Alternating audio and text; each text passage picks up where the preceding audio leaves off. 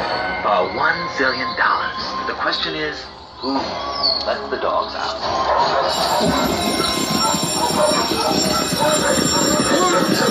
Who let the dogs out? Who let the dogs out? Who let the dogs out? Who let the dogs out? Who let the dogs out? Who